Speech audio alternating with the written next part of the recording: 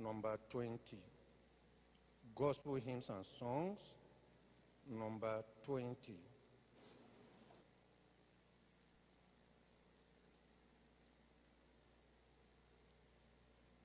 I am the way, sorry, the way, the truth, the life. I am the way, the Savior said, and I will follow on, content to know that after night shall break a glorious dawn. I am the truth. Then truth shall be a beacon light to guide my back across the stormy sea to where still waters glide. I am the light. There is no death for me to fear nor dread, since by his all atoning blood my life to his is wed. I am the way, the truth, and the life. No man comment on the Father but by me. I am the way, the truth, and the life. No man cometh unto the Father but by me.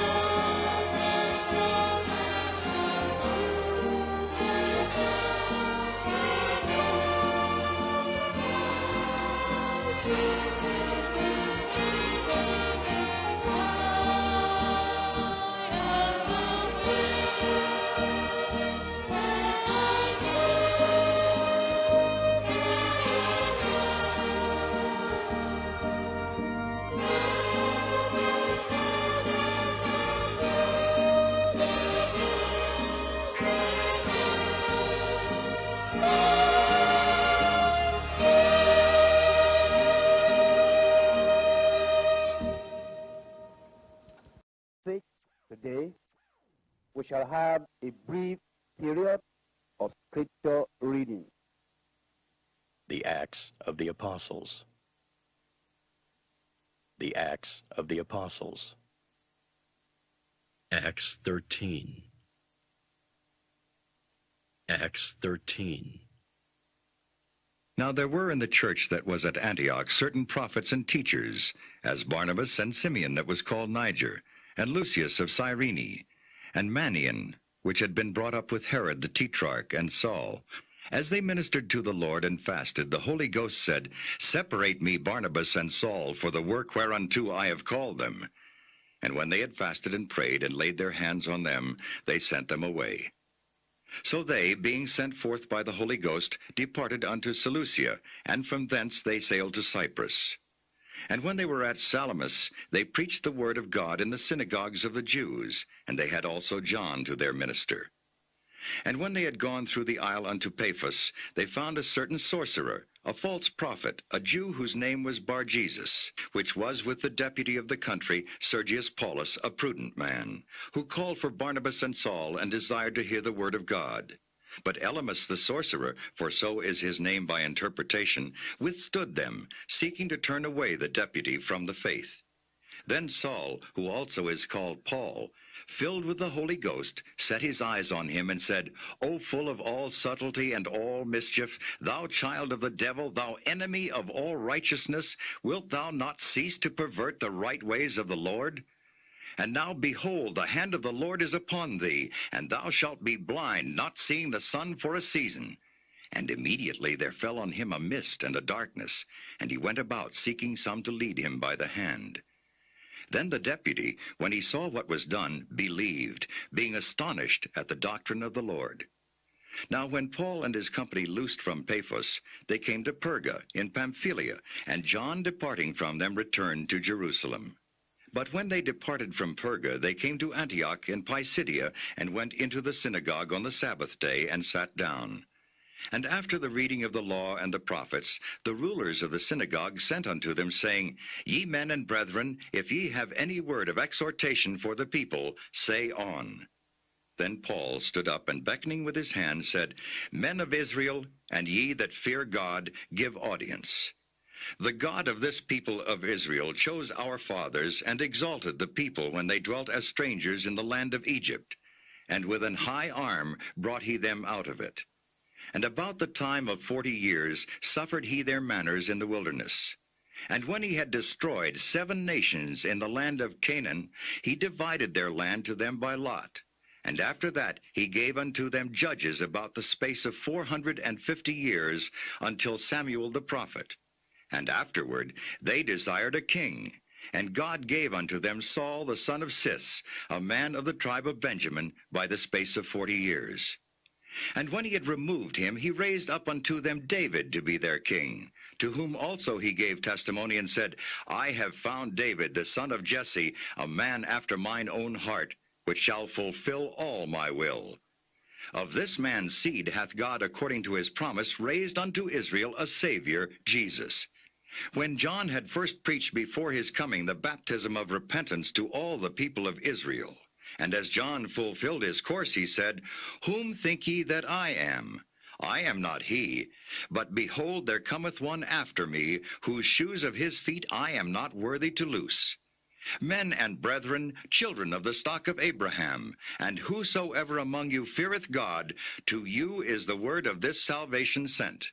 For they that dwell at Jerusalem and their rulers, because they knew him not, nor yet the voices of the prophets which are read every Sabbath day, they have fulfilled them in condemning him. And though they found no cause of death in him, yet desired they Pilate that he should be slain. And when they had fulfilled all that was written of him, they took him down from the tree and laid him in a sepulchre. But God raised him from the dead, and he was seen many days of them which came up with him from Galilee to Jerusalem, who are his witnesses unto the people. And we declare unto you glad tidings, how that the promise which was made unto the fathers, God hath fulfilled the same unto us their children, in that he hath raised up Jesus again. As it is also written in the second psalm, Thou art my son, this day have I begotten thee. And as concerning that he raised him up from the dead, now no more to return to corruption, he said on this wise, I will give you the sure mercies of David. Wherefore he saith also in another psalm, Thou shalt not suffer thine Holy One to see corruption. For David, after he had served his own generation by the will of God, fell on sleep, and was laid unto his fathers, and saw corruption. But he whom God raised again saw no corruption. Be it known unto you, therefore, men and brethren, that through this man is preached unto you the forgiveness of sins. And by him all that believe are justified from all things, from which ye could not be justified by the law of Moses. Beware, therefore, lest that come upon you which is spoken of in the prophets. Behold, ye despisers, and wonder and perish. For I work a work in your days, a work which ye shall in no wise believe, though a man declare it unto you. And when the Jews were gone out of the synagogue, the Gentiles besought that these words might be preached to them the next Sabbath. Now when the congregation was broken up, many of the Jews and religious proselytes followed Paul and Barnabas, who, speaking to them, persuaded them to continue in the grace of God. And the next Sabbath day came almost the whole city together to hear the word of God. But when the Jews saw the multitudes, they were filled with envy, and spake against those things which were spoken by Paul, contradicting and blaspheming. Then Paul and Barnabas waxed bold, and said, It was necessary that the word of God should first have been spoken to you. But seeing ye put it from you, and judge yourselves unworthy of everlasting life, lo, we turn to the Gentiles. For so hath the Lord commanded us, saying, I have set thee to be a light of the Gentiles, that thou shouldest be for salvation unto the ends of the earth. And when the Gentiles heard this, they were glad and glorified the word of the Lord, and as many as were ordained to eternal life believed. And the word of the Lord was published throughout all the region. But the Jews stirred up the devout and honorable women, and the chief men of the city, and raised persecution against Paul and Barnabas, and expelled them out of their coasts. But they shook off the dust of their feet against them, and came unto Iconium. And the disciples were filled with joy and with the Holy Ghost. May God help us to be doers of the word.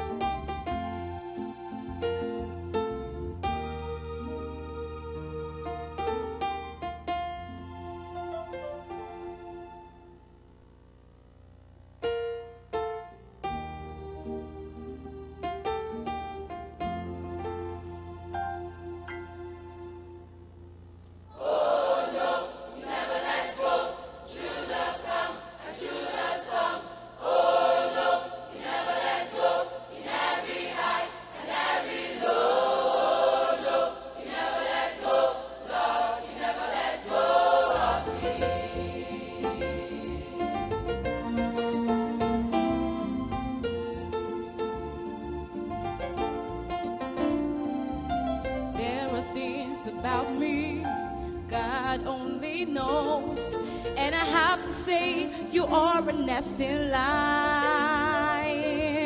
No matter what I tell you, you don't love me less. And it shows you're the truest friend of mine. On this narrow road of faith, I don't want to be unwise. Straight into the feet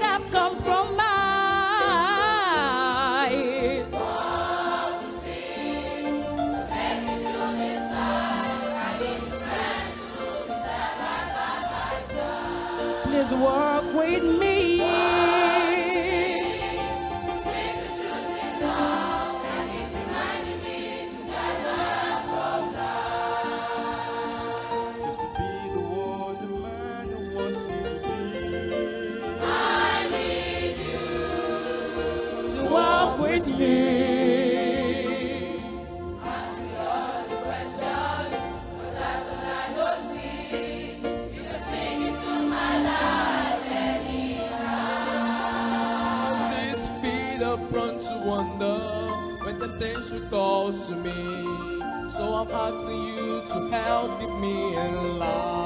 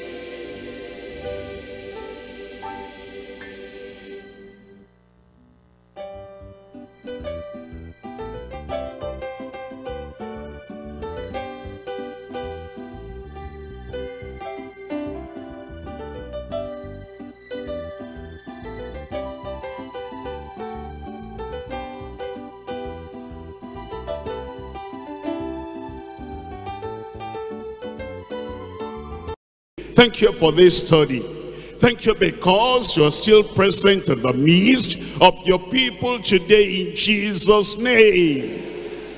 Lord, I pray no storm will stop any of your children in Jesus' name. Everything we study today, we're praying, oh Lord, it will work effectively, effectually in every life in Jesus' name we will not study in vain. The study will benefit everyone. I pray, Lord, you increase the faith of every one of us in Jesus' name. Confirm your word tonight. In Jesus' mighty name we pray. We're looking at Mark chapter 4. And I'm reading from verse 35 all through to 41. And the same day, when the evening was come, he says unto them, Let us pass over unto the other side. Let us pass over unto the other side. let us pass over onto the other side. And when he had sent away the multitude, they took him even as he was in the ship. And there were also with him other little ships.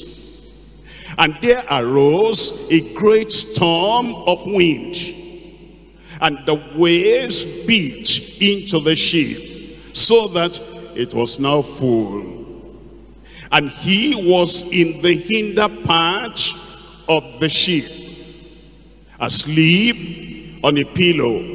And they awake him and say unto him, Master, carest thou not that we perish? And he rose and rebuked the wind and said unto the sea, Peace, be still. There'll be peace in your life. And the wind ceased. It has to. And there was a great calm. And he said unto them, Why are you so fearful? How is it that ye have no faith? And they feared exceedingly and said one to another, What manner of man is this, that even the wind and the sea obey him? Those verses I've read to you, there's seven. Look at verse 35. The passing over to the other side. Passing over to the other side. The same day, when the evening was come, he says unto them, let us pass over to the other side. Verse 36, his presence in the ship. That is, as they were all in the ship, his presence was also there. That's in verse 36. And when they had sent away the multitude, they took him even as he was in the ship. He'll always be in your boat. He'll be in your family. He'll be in your heart. He'll be in your life. His presence in the ship. Verse 37. And there arose a great storm of wind, and the waves beat into the ship, so that it was now full. Three, the peril of a great storm. The peril of a great storm. Number four, verse 38. And he was in the inner part of the ship, asleep on a pillow. And they wake him and say unto him, Master, carest thou not that we perish? That's their perplexity about his sleep. The storm was great. The storm was high. Their lives were in danger. And he was asleep on the pillow. They were perplexed. Carest thou not that we perish? Their perplexity about his sleep. Verse 39. And he arose and rebuked the wind and said unto the sea, Peace, be still. Somebody shout amen. And the wind of your life ceased. And there was a great calm. That's number five, the power of our Savior. No storm will withstand the power of the Savior, even tonight your life in Jesus' name. Verse 40, and he said unto them, Why are you so fearful? How is it that ye have no faith? The problem of their shallowness. They had been following him all these years, and they had seen the great things he had done. And he also had given them the assurance that the power of God will be with them.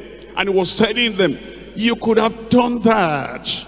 You could have silenced that wind and you could have stopped that storm. Your faith will rise. The problem of their shallowness. Verse 41, and they feared exceedingly and said one to another, what manner of man is this, that even the wind and the sea obey him? The perception of his sovereignty, the perception of his sovereignty, that he rules, he rules the sea, he rules the storm, he rules the souls of men. He now perceived his sovereignty. Tonight, the topic is great calm. Through the master's intervention. Great calm. Through the master's intervention. There'll be intervention in your life. Say good amen in our church we'll see the Lord's intervention. In every family we'll see the Lord's intervention. His power will avail for you. His presence will avail for you. His promise will avail for you. Calm, great calm, through the master's intervention. Three things we're looking at. Number one, the personal proclamation of our infallible Christ. The personal proclamation, he himself said it, and he said, let us pass over onto the other side. And what he proclaimed and what he declared, there is no Satan, there is no devil that can contradict that, that can make that to fail. Christ is infallible. Christ is irresistible. And Christ is incomparable. If he says anything in promise, in power, with his presence, it will be fulfilled in your life. The personal proclamation of our infallible Christ. Number two, is perfect peace in an irreconcilable crisis. The crisis that throws up, you couldn't reconcile that with what he had said. He had said, let us pass over onto the other side. And then a crisis arose, irreconcilable. And the disciples couldn't understand. How could, they, how could a storm come? How could a crisis rise up when Christ, in authority and power, had said, let us pass over onto the other side, irreconcilable. And yet, the Lord is going to grant us perfect peace. Number three, the prevailing power of our irresistible Christ. Christ is irresistible. His power is irresistible. His prophetic prediction is irresistible. And he has that prevailing power. And the Bible tells us very clearly, Jesus Christ, the same yesterday, today, and forever. You'll find him sufficient in your life, even today and this year and beyond in Jesus' name. The prevailing power of our irresistible Christ. Point number one. Tell me number one on that side there. The personal proclamation of our infallible Christ. Look at Mark chapter 4, verse 35. And the same day, when the evening was come, he says unto them, Let us pass over unto the other side. That's the proclamation that Christ himself made personally. The personal proclamation of our infallible Christ. Let us pass over onto the other side. look at the end of the storm and look at chapter 5 verse 1. Chapter 5 verse 1. And they came over unto the other side of the sea. His word will always be fulfilled. His promise to you will always be fulfilled. His declaration, proclamation will always be fulfilled. It will be done in your life in Jesus' name. If Christ has spoken, it will come to pass. If Christ announced, has announced it, it will come to pass. If Christ said it, it will come to pass. The sea may roar, the storm may rage, but the words of Christ will be done. Satan and sinners may be furious. His word, all the same, will still be fulfilled. Dazzling sights I see. Terrifying sounds I hear. And all those sights and sounds may feel the horizon. But all the same, the word of God, the word of Christ will prevail. Tempest raging, billows rising, demons threatening, torrents of anguish, heights of anxiety, depths of grief, winds, waves of wrath, all may shoot up their angry look. But all the same, all that Jesus Christ has said will be fulfilled. The wind will obey his voice. The waves will obey his voice. Whatever he has said will come to pass. Did he tell you something in his word? It will come to pass. Did he give you a promise in his word? It will come to pass. Look at Matthew chapter 24, verse 35. Matthew chapter 24, verse 35. Heaven and earth shall pass away, but my words shall not pass away. You need to say amen to that one. The sky may roll over. The earth may be in turmoil. The sea may roar. Challenges may come in your community or anywhere. But whatever Jesus has said must and will be fulfilled. Heaven and earth shall pass away. But my words shall not pass away. Jesus said, I and my Father are one. Jesus said, if you have seen me, you have seen the Father. And the word of the Father is infallible. As the word of the Father will always be fulfilled, so the words of Christ also will always be fulfilled. Numbers chapter 23. Numbers chapter 23, verse 19. God is not a man that he should lie, neither the son of man that he should repent. As he said, and shall he not do it, he will do it. As he spoken, and shall he not make it good? Behold, I have received commandment to bless. And he has blessed, and I cannot reverse it. What are we learning from here? Jesus has spoken. The storm cannot reverse that. Jesus has declared, let us pass over onto the other side. And the winds and the waves cannot reverse that.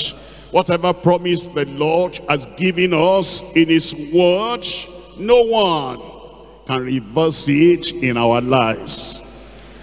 Your life will be exactly as Jesus has promised. What he paid for on the cross of Calvary will be fulfilled in your life. All right, will be fulfilled in my life. Deuteronomy chapter 18, verse 18. Deuteronomy chapter 18, verse 18. I will raise them up a prophet from among their brethren, like unto thee, and will put my words in his mouth. That's a prophecy looking forward to when Christ will come.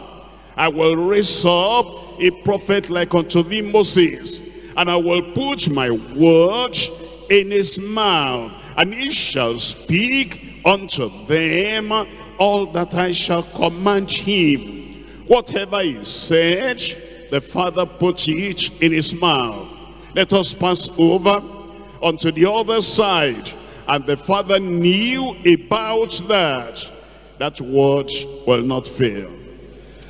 Look at Acts chapter 3. For you to understand that what we read now in Deuteronomy is referring to Christ. Acts of the Apostles chapter 3. And I'm reading from verse 20. In verse 20, here is the declaration of the word of God. And he shall send, tell me the name, Jesus Christ, which before was preached unto you, whom the heaven must receive until the times of restoration, restitution of all things, which God has spoken by the mouths of all his holy prophets since the world began. Look at this. For Moses truly said unto the fathers, a prophet shall the Lord your God raise up unto you of your brethren like unto me. Him shall ye hear in all things whatsoever he shall say unto you. That's talking about Christ. And when he says, let us pass over unto the other side, you'll hear him, you'll believe him, you'll get ready to pass to the other side, and whatever you see on the way, you look away from that because you will get to the other side. You'll not remain on that other side of weakness forever, on the side of confusion forever, on the side of weakness and powerlessness forever. You're going to move on to the side of victory as Jesus has decided and declared concerning you in Jesus' name. Isaiah chapter 46, I'm reading from verse 10. Isaiah chapter 46, reading from verse 10. It says, declaring the end from the beginning. Before they got there, he said, let us pass over onto the other side. And he declared the outcome. Even as they were beginning the sailing out. And the outcome of your life, victory, power, fulfilled destiny, and joy at the end. The Lord is declaring, let us pass over onto the other side.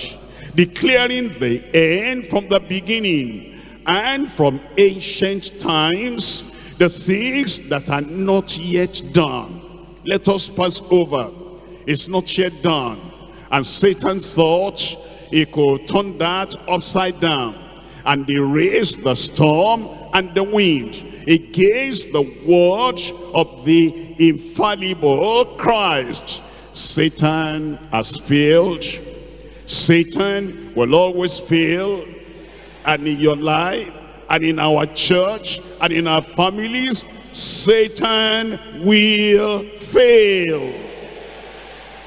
Because he declares from ancient times the things that are not yet done, saying, my counsel shall stand, and I will do all my pleasure.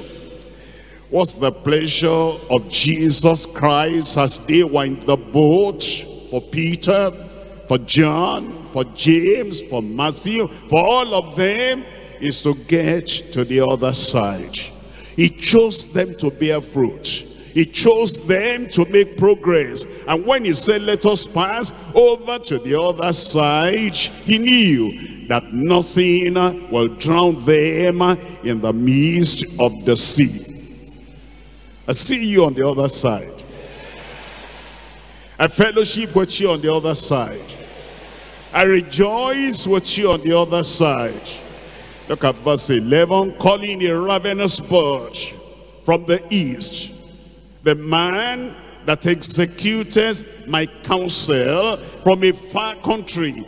Yea, I have spoken it and I will bring it to pass. Underline that in your Bible. I have spoken it and I will bring it to pass. I have purposed it, I will also do it. Performance in your life. Great wonders in your life. The coming of the storm in your, in your life in Jesus' name in Isaiah chapter 55. I read from verse 10. Isaiah chapter 55, verse 10. For the rain cometh down, and the snow from heaven, and returneth not thither, but watereth the earth, and make it bring forth and bud, that it may bring and give seed to the sower and bread to the eater. So shall my word be that goes out of my mouth. It shall not return unto me void, but it shall accomplish that which I please, and I it shall prosper in the thing whereunto I sent it. It will be fulfilled in your life. The word is the greatest sin in your life. The storm is not the greatest sin. The waves are not the greatest sin. The contradiction of the enemy is not the greatest sin. And the opposition of Satan of society is not the greatest thing. The word he has spoken. Let us pass over onto the other side. That's the greatest thing in your life. And it will crush and destroy every other sin that rises up in opposition or contradiction in Jesus' name. Jeremiah chapter 1 verse 12. Jeremiah chapter 1, verse 12. Then sent the Lord unto me, Thou as well seen, for I will hasten my word to perform it. He will hasten his word in your life. It will be performed. I said it will be performed. Ezekiel chapter 12, reading from verse 25. Ezekiel chapter 12, verse 25. For I am the Lord, I will speak, and the word that I speak shall come to pass. Forget your perplexity Forget your doubts.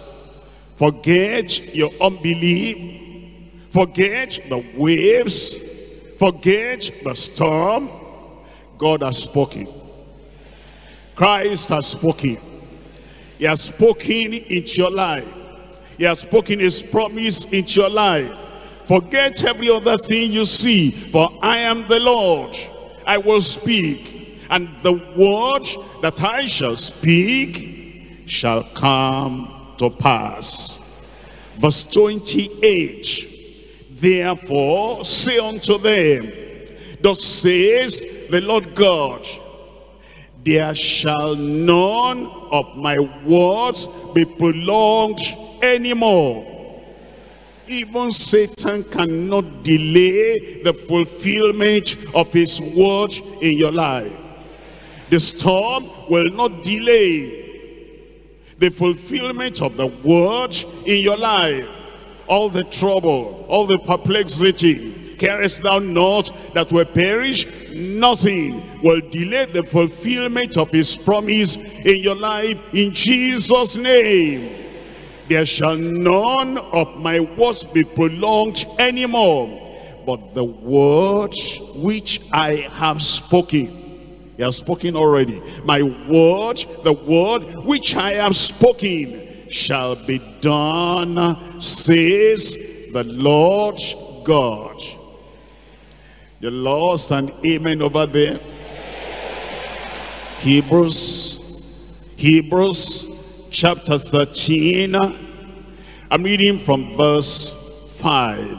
Hebrews chapter 13. We're reading from verse 5. We're told, let your conversation be without covetousness. Let your conversation be without conflict. Let your conversation be without cowardice. Let your conversation be without fear. Let your conversation be without unbelief, without any harassment in your spirit. Be content with such things as she have, for he has said. He has said. Is he talking to you? I will never leave thee, nor forsake thee. He will not leave you. In a time of need, in a time of problem, he'll never leave you, he will never forsake you. So that we may boldly say, the Lord is my helper. I'm going to say that for myself. The Lord is my helper. Say that again for yourself. The Lord is my helper. I will not fear what man shall do unto me. Say amen for that one. Your persecutor or Christ, who is greater? Your opposer or Christ, who is greater? The storm or Christ, who is greater? Your sickness or Christ, who is greater? And all the things that want to stop your journey halfway, and Christ, who is greater? You have conquered. Look at verse 8. Jesus Christ, the same yesterday and today and forever. If his word was fulfilled at that time, his word in your life, in my life, in our lives, will be fulfilled at this time. Second Peter chapter 1 verse 19. Second Peter chapter 1 verse 19. We have also a more sure word of prophecy. I want you to underline those two words, more sure. More sure. It says we have also a more sure word of prophecy. Now Peter was talking about Christ now. He's gone to the cross. He shed his blood. He's made a full and final sacrifice. And he sealed every promise he gave with his blood. And heaven has registered that. He said, when he said, let us pass over onto the other side, he had not died. He had not paid the price for that. He had not sealed the promise with his word. But now we're on this other side of the cross. Everything Jesus said, in power, what he said in promise, now he has sealed with his blood.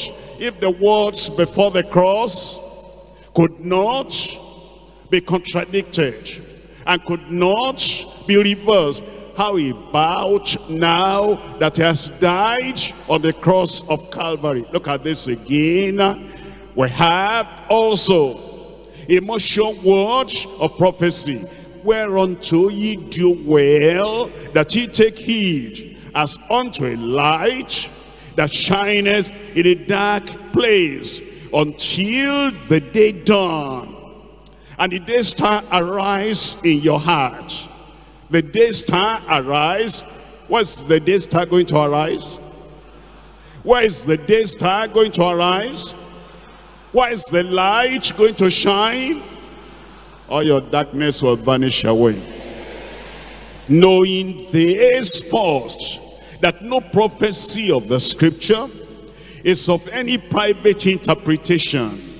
For the prophecy came not in all time by the will of man, but holy men of God spake as they were moved by the Holy Ghost. And if the word spoken by those prophets of the Old Testament became fulfilled, how much more Christ, who is greater than all those prophets, his word will be yes and amen in your life.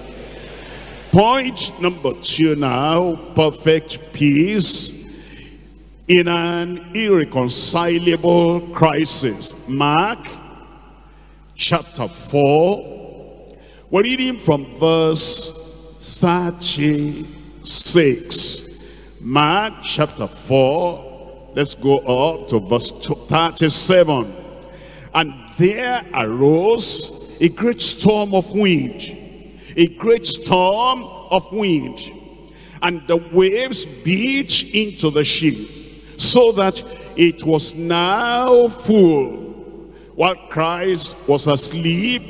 By the way, why, how could he sleep in such a storm?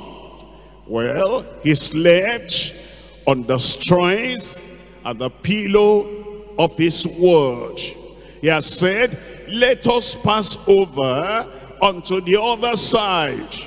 And he was the creator of Lucifer, of heaven and earth.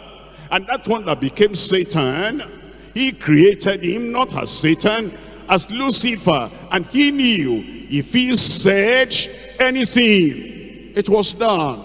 That's why he went to sleep. And all that water coming into the boat was nothing. Nothing to you. Nothing to me. Nothing to us as a church in Jesus' name. Why could he go to sleep? He had told Peter, John, James, and others, follow me, and I will make you fishers of men. And they had not become fishers of men. He was going to leave the work in their hand. And they were going to bring thousands into the kingdom. And he knew that word was still be fulfilled. All this time is child's play. It's a test. It's a trial. It's a temptation to see whether you will cry, whether you will give up, whether you will say, the end has come. My end has not come. Your end has not come. Why did he go to sleep? Because in the Old Testament, it was prophesied, they pierced my hands and they pierced my feet. He knew he will die on the cross and not in the sea. And because he knew that, he knew his destiny. When you know your destiny, you'll not be afraid of the mosquitoes and the cockroaches because the fire of the Holy Ghost will burn them up. That's why he went to sleep, but they didn't understand. And then it says in verse 38, and he was the in the hinder part of the sh ship, asleep on a pillow. And they awake him And they say unto him, Master, carest thou not that we perish?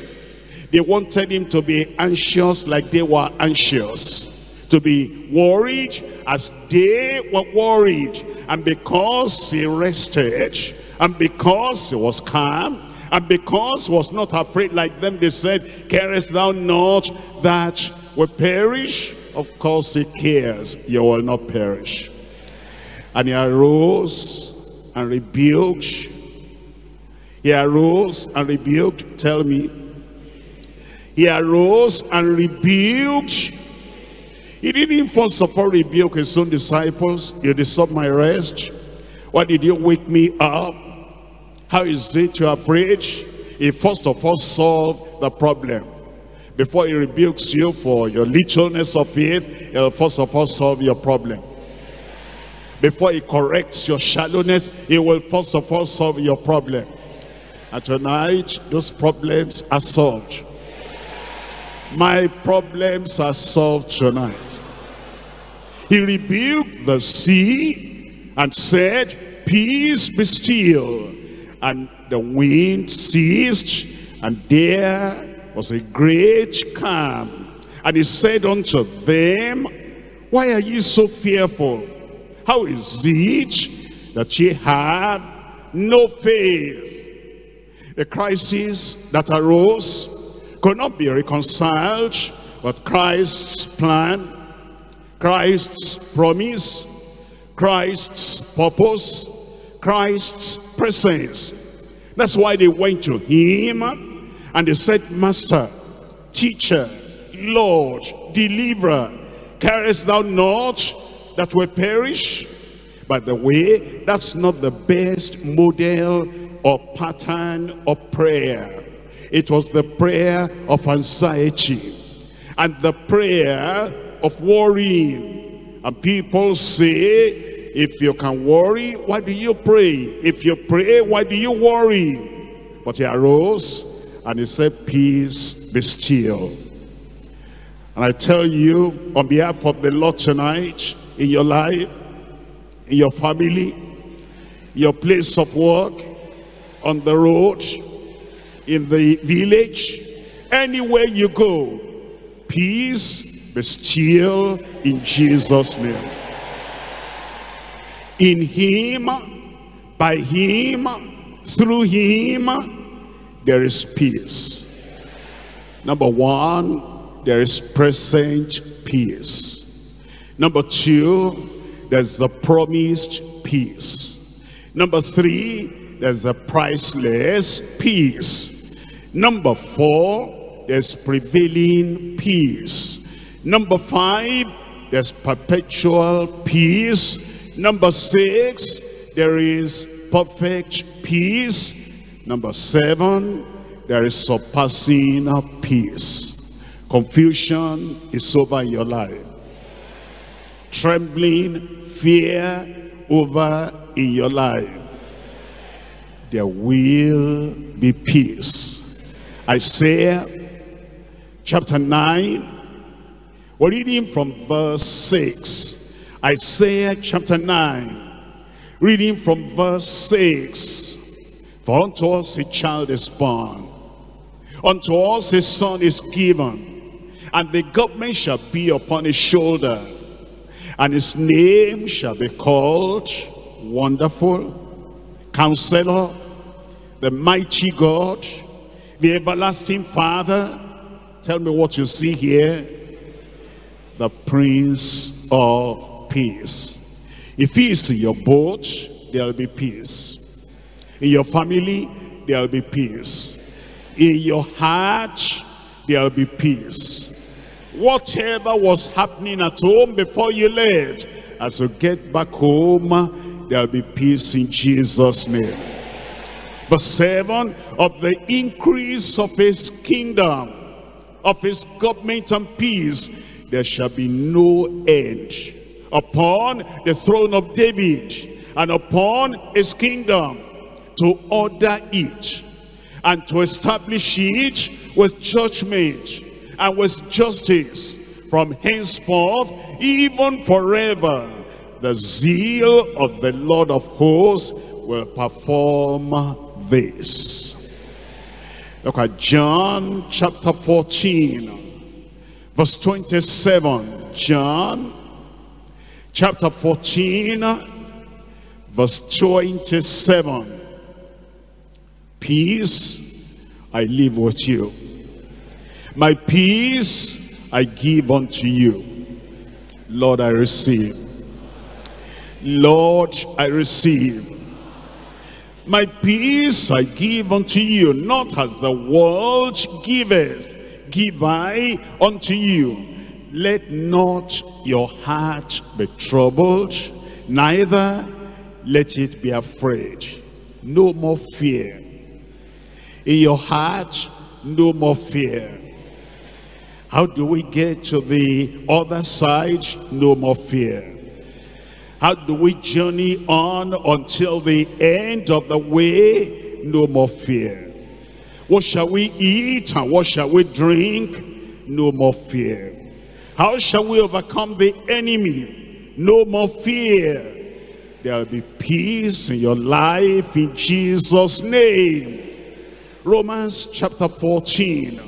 I read from verse 17. Romans chapter 14, verse 17. For the kingdom of God is not meat and drink, but righteousness and, tell me, peace and joy in the Holy Ghost. You're in the kingdom, there'll be peace in your heart. There'll be peace in your family. If you believe that, the peace has come. Ephesians chapter 2, verse 14. Ephesians chapter 2, verse 14. For he is our peace. He Christ, he the Savior, he the Redeemer, he the one who died for us on the cross of Calvary to take all our confusion and commotion away. He is our peace who has made both one and has broken down the middle wall of partition between us, having abolished in his flesh the enmity.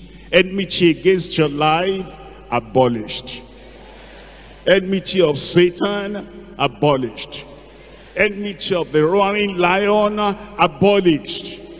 Enmity of anyone standing in the way that you are not going to make progress. You will not pass through this way. The Lord has cleared them out of the way. Having abolished in his flesh the enmity, even the law of commandments contained in ordinances, for to make in himself of one of twain one new man so making peace. And then in verse 16 and that he might reconcile both to God the enmity between you and God and the wall of demarcation between you and God is broken down. That he might reconcile both unto God in one body by the cross having slain the enmity thereof and came and preached and pronounced and proclaimed peace to you which were far off and to them that were nigh you are far away from God as a Gentile as a sinner but now Jesus the Savior has died and has returned away from your sin. And believe on the Lord Jesus Christ, everything that separated you from God, everything is taken away in Jesus' name. Look at Psalm 119. Psalm 119. I read from one, uh, verse 165. Psalm 119 verse 165 great peace are they which love thy law do you love the word of god Of course, that's why you are here tonight. What kind of peace are you going to have? Great peace. Your mind will not be disturbed. Your heart will not be disturbed. Whatever news you hear, that this is happening, that is happening, the word of Christ will supersede every other news in your heart in Jesus' name. Great peace have they which love thy law, and nothing shall offend them. Nothing shall defeat them. Nothing shall destroy them. I'm praising God for you. I'm rejoicing before the Lord on your behalf. Nothing will destroy your peace. Isaiah chapter 26. Isaiah chapter 26. I read from verse 3. Thou will keep him in perfect peace, whose mind is stayed on thee, because he trusteth in thee. The disciples were disturbed. They didn't have perfect peace at that time because they were looking at the wind. They were looking at the, at the waves. They were looking at the storm. But thou will keep him in perfect peace, whose mind is stayed on thee. Your mind will stay on the Lord. Trust ye in the Lord. How long? Trust ye in the Lord. How long? When you hear noise on your street, trust ye in the Lord forever. When you hear something is across the road, trust ye in the Lord forever. When bad news is coming from the office, trust ye in the Lord forever. When your wife is pregnant and she's saying, I'm seeing this, I'm seeing that, trust ye in the Lord forever. You will not be ashamed. For in the Lord Jehovah is everlasting strength. Look at chapter 48, Isaiah chapter 48. Isaiah chapter 48. I'm reading from verse 18. Isaiah chapter 48, reading from verse 18. Oh, that thou art hearkened to my commandments, then at thy peace being as a river, and thy righteousness as the waves of the sea. Did somebody say amen? Philippians chapter 4. Philippians chapter 4. We're reading from verse 6. Philippians 4 verse 6. Be careful for nothing. Be anxious for nothing. Be disturbed by nothing. Be worried about nothing. It says, be careful for nothing, but in everything, by prayer and supplication, with thanksgiving, let your request be made known unto God.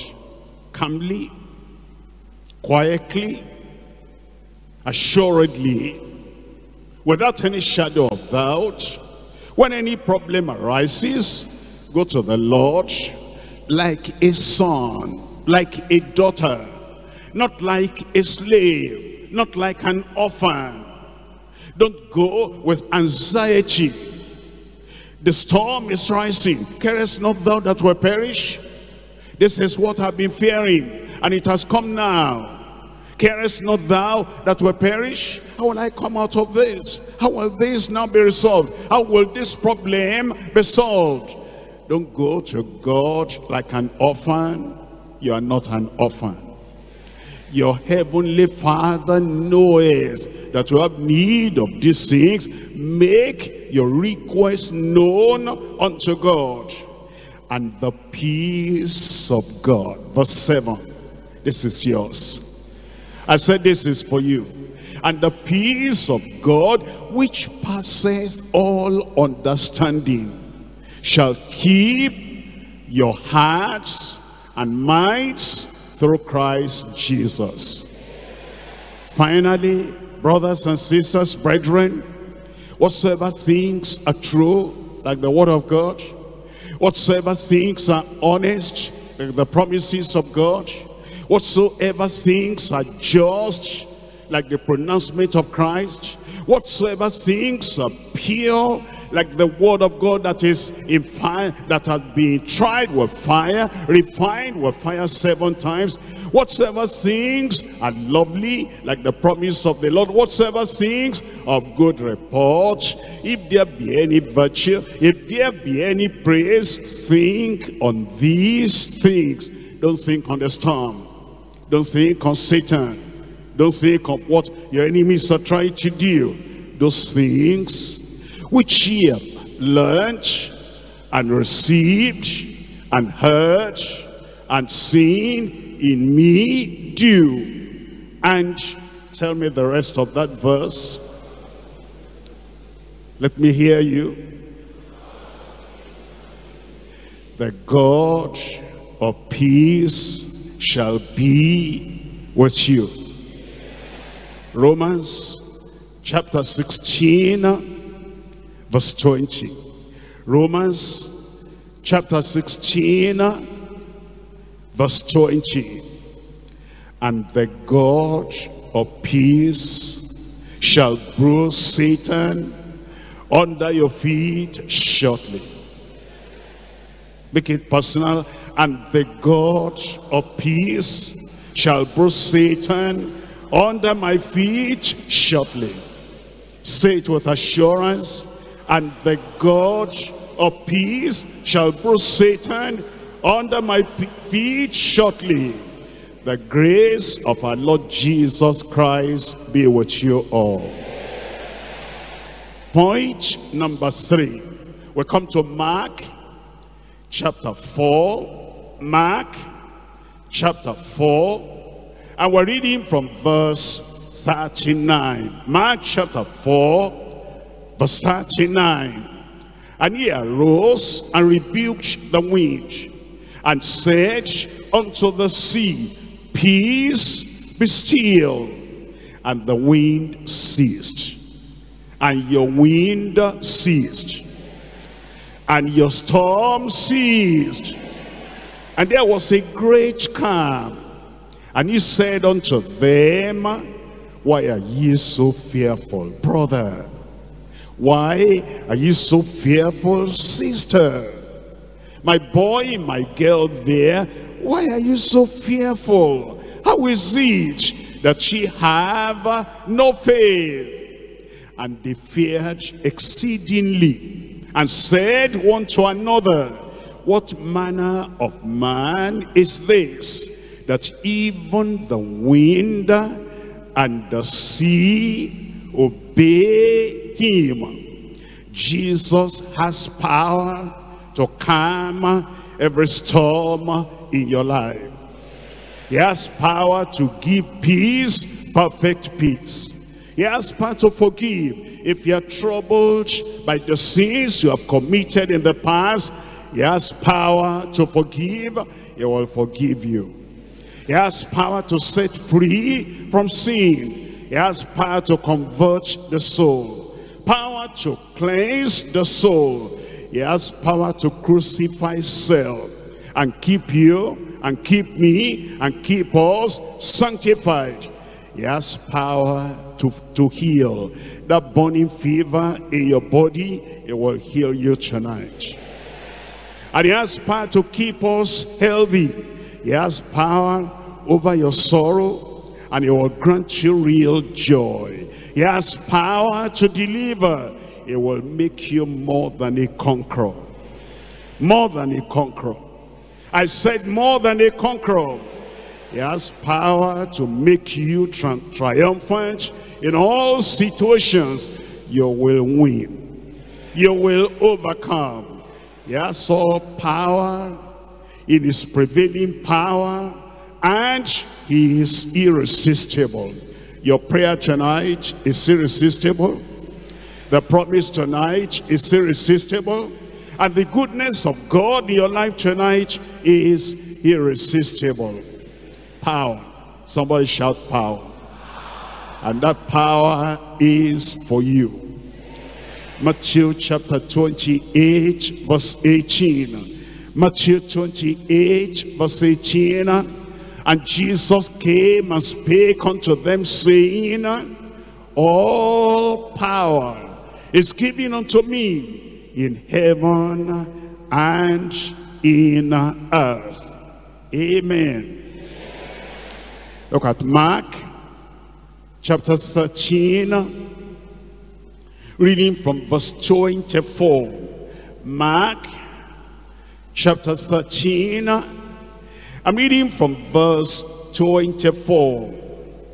But in those days, after the tribulation, the sun shall be darkened, and the moon shall not give her light, and the stars of heaven shall fall, and the powers that are in heaven shall be shaken. But look at this, in the midst of all that, then shall they see the Son of Man coming in the clouds with, tell me, great power and glory, even when the Antichrist is at his highest performance. Christ will come in great power.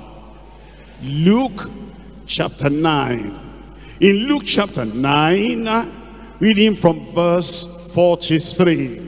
Luke chapter 9, verse 43. And they were all amazed at the mighty power of God. They were all amazed at the mighty power of God. His power will surprise you. When he solves your problem, his power will amaze you.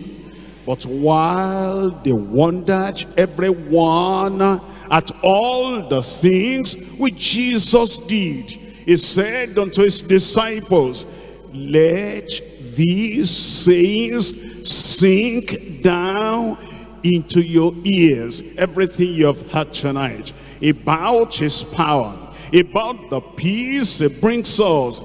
Let these things sink deep into your heart. Nothing will shake you. Nothing will move you. Luke chapter 4. I'm reading from verse 36, Luke chapter 4, verse 36. And they were all amazed and spake among themselves, saying, What a word is this? For with authority and power, he commanded the unclean spirits. What happened? And they come out. They have to come out.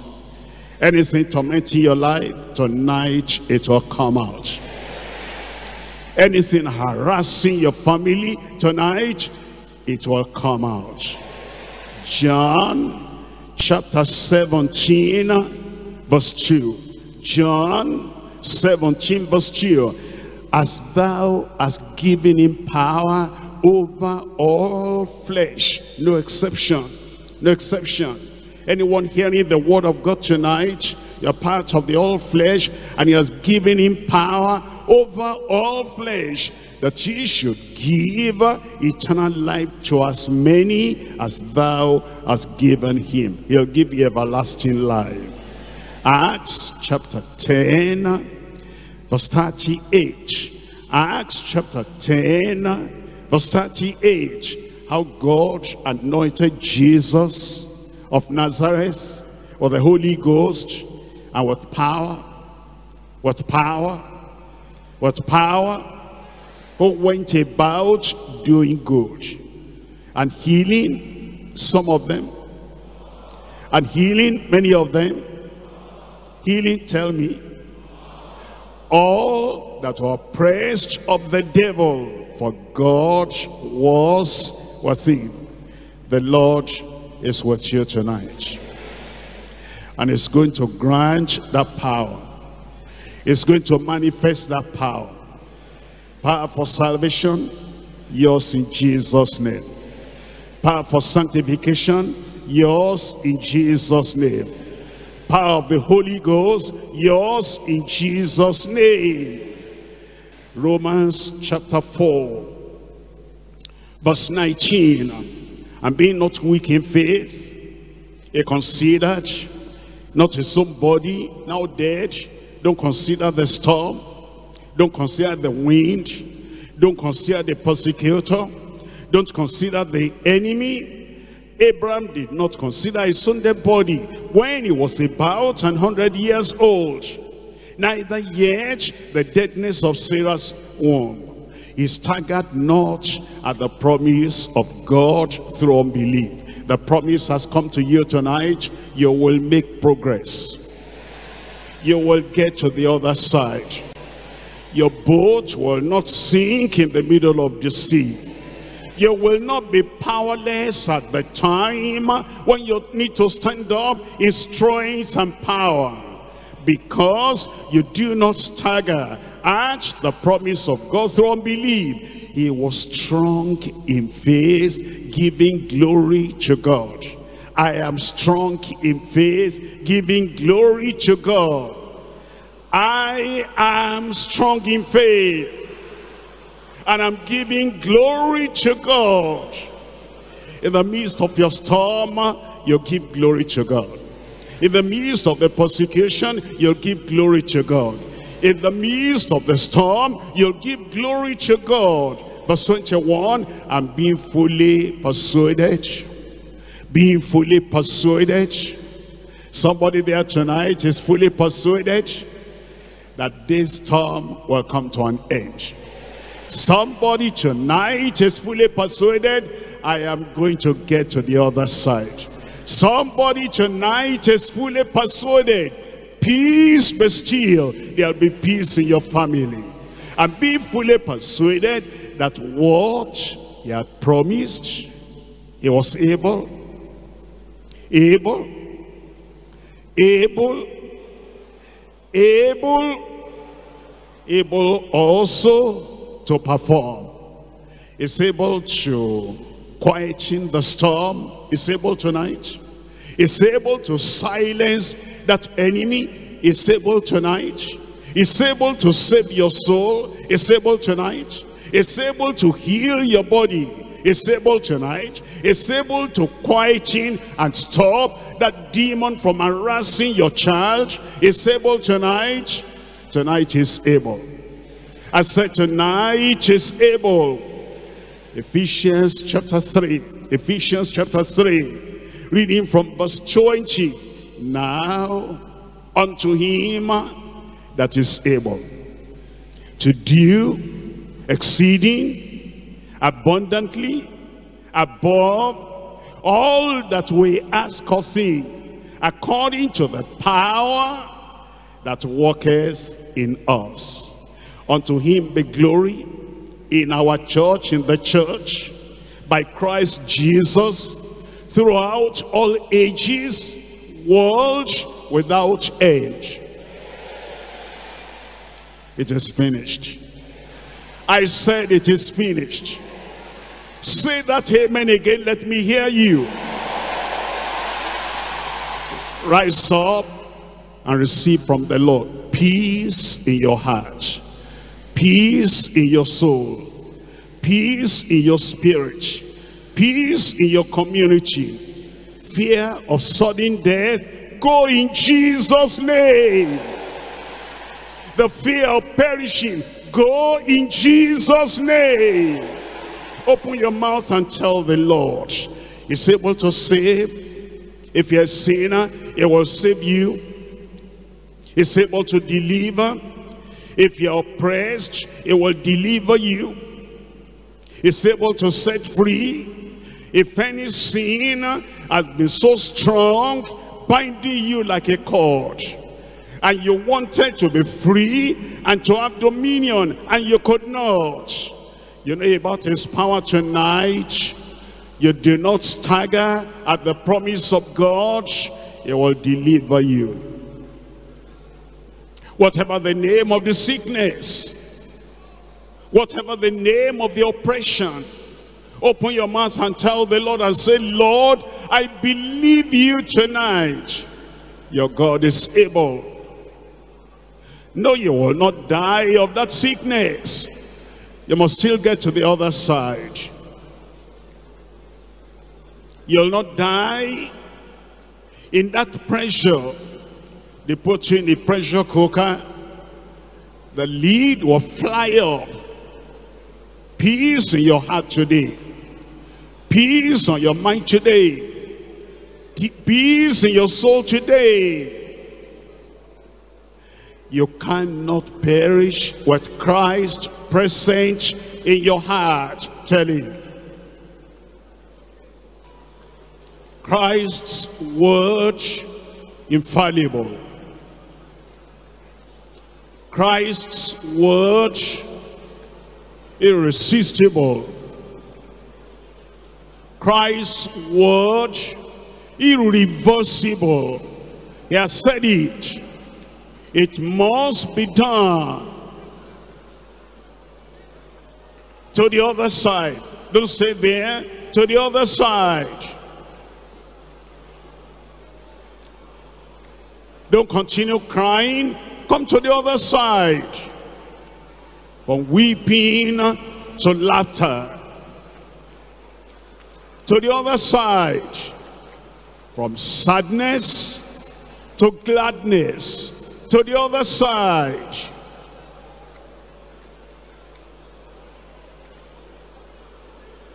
From opposition to the side of opportunity. Come to the other side. Nothing will stop your journey halfway. Move on. Move on into strength. Move on into power. Move on into victory. If you have not been saved, let this moment be the moment of your salvation. Call upon him.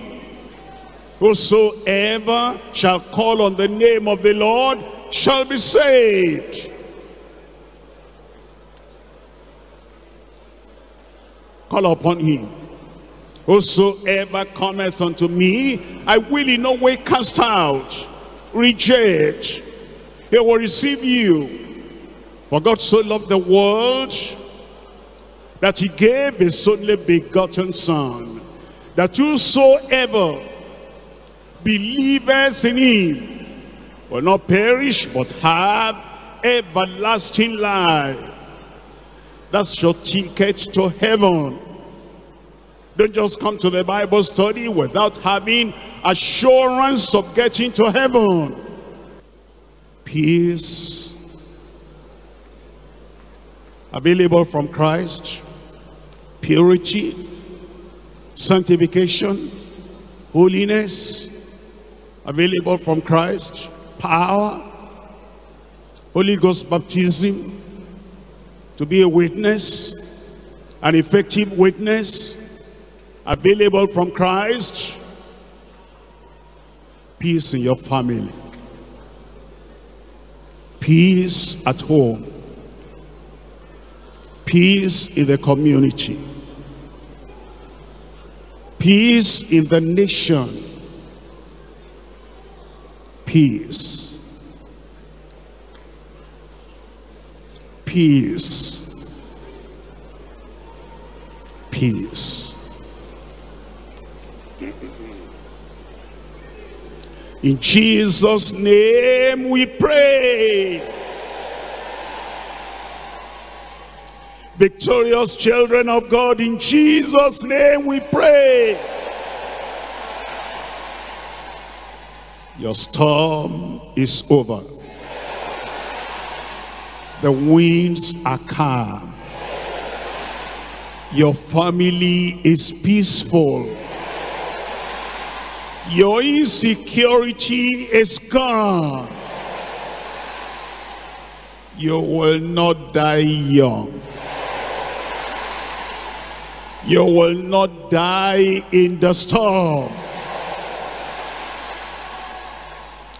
To the other side. To the other side. Joy has come. Victory has come. Progress has come. Out of storm, we come into the power of God. Where is he there? Where is she there? Tonight is a turning point in your life. Father, in the name of Jesus, we thank you because Jesus, our Lord, our Master, our Savior, our Redeemer, the one that never lost any battle, is still alive today. And he's right here and has assured us, whatsoever we bind on earth is bound in heaven.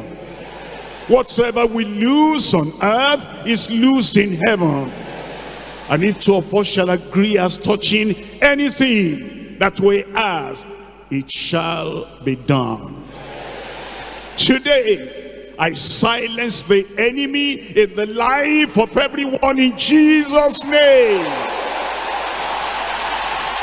The storm is come to an end in your life in Jesus' name. And as many have, as have called upon the Lord to be forgiven, receive your forgiveness in Jesus' name. Those who have asked the Lord for salvation, receive your salvation in Jesus' name. Purity of heart, peace in your soul, power in your life, receive in Jesus' name. Lord, you're still the master of ocean, of waves, of the sky, and of the sea. And whether the storm is coming from men or coming from demons, when you say, peace be still, it is all over. I pronounce in the life of every child every boy, every girl, I pronounce in the life of every man, every woman, in the life of every brother, every sister, in the life of every member, every minister, peace in your life in Jesus' name. Peace in your family in Jesus' name.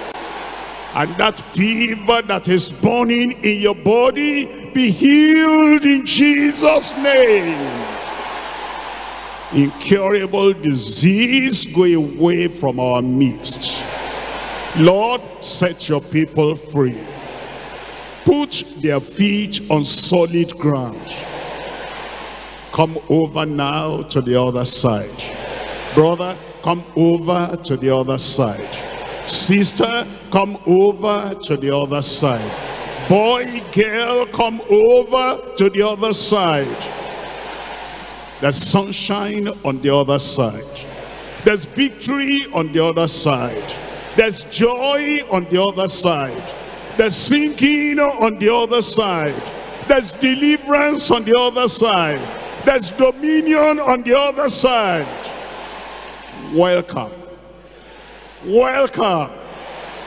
Welcome to the side of victory and dominion in Jesus' name. Lord, fulfill each in every life. We thank you because we know it is done. In Jesus' name we pray.